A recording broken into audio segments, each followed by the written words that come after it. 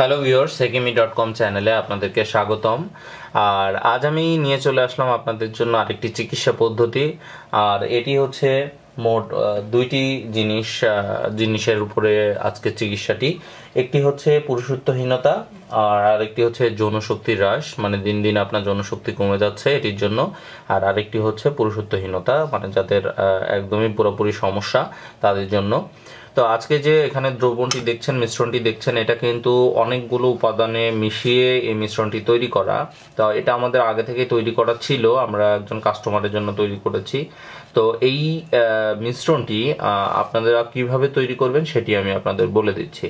তো এটার মধ্যে যেগুলো আছে তার মধ্যে প্রথমে আছে শিমুল মূল আছে পঞ্চাশ গ্রাম হ্যাঁ শিবলিঙ্গ পাউডার আছে পঞ্চাশ গ্রাম আপনার হচ্ছে জব ডুমুর। জব ডুমুরের পাউডার আছে পঞ্চাশ গ্রাম।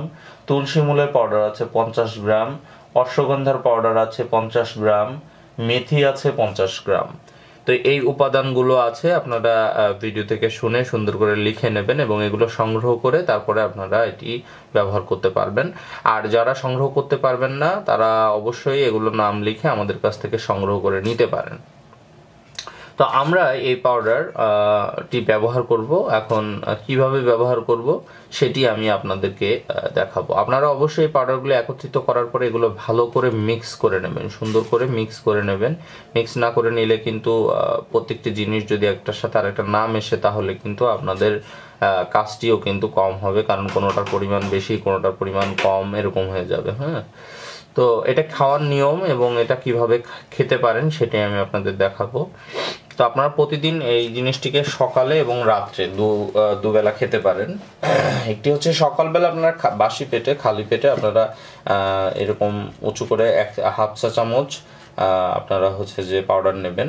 হ্যাঁ হাফ চা চামচ পাউডার নিয়ে আপনারা এর মধ্যে সামান্য মধু দেবেন। সামান্য বলতে যে পরিমাণ আপনারা ইয়ে নিয়েছেন হ্যাঁ সেই পরিমাণ আপনারা এর মধ্যে মধু মিশাবেন।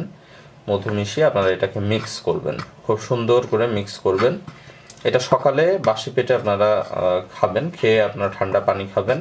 আর রাত্রেবেলা আপনারা ভরা পেটে ঘুমানোর আগে আপনারা হচ্ছে খেয়ে এটা ঠান্ডা পানি খেয়ে শুয়ে পড়বেন। এই হচ্ছে মূলত এটা খাওয়ার নিয়ম। তো এভাবে সুন্দর করে মিক্স করবেন। এই দেখেন কেমন হলো জিনিসটি। এই, এখন এটি পুরো খাওয়ার উপযোগী। এবং যারা অনেকেই হয়তো মনে করতে পারেন যে এটা আমি খেতে পারব কিনা, এটার স্বাদ কিন্তু খুবই ভালো হবে। হ্যাঁ স্বাদ খুবই ভালো হবে এবং মধু মেশানোর কারণে আপনারা এখান থেকে মধুর স্বাদটাই বেশি পাবেন এবং অন্যান্য যেগুলো আছে, বেশ ঘ্রাণ যুক্ত জিনিস আছে যেগুলো আপনার খেতে খুব একটা অসুবিধা হবে না। হ্যাঁ। যারা একদমই নতুন, যারা এটা খাননি কখনো, তারা অবশ্যই খেতে পারবেন, খুব ভালোভাবে খেতে পারবেন। এ বিষয়ে আপনারা নিশ্চিত থাকতে পারেন। তো ভিউয়ার্স এই ছিল মূলত আমাদের আজকের চিকিৎসা পদ্ধতি।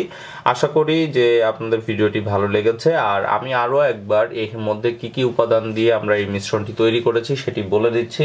প্রথমত শিমুলমূল পঞ্চাশ গ্রাম, শিবলিঙ্গ পাউডার পঞ্চাশ গ্রাম, জবডুমুর পঞ্চাশ গ্রাম তুলসীমূল পঞ্চাশ গ্রাম, অশ্বগন্ধা পঞ্চাশ গ্রাম হ্যাঁ মেথি পঞ্চাশ গ্রাম। ঠিক আছে, এই হচ্ছে মূলত এই মিশ্রণটি। তো আপনারা সবাই সুস্থ থাকুন, ভালো থাকুন, এই কামনায় আজকে শেষ করছি। ধন্যবাদ।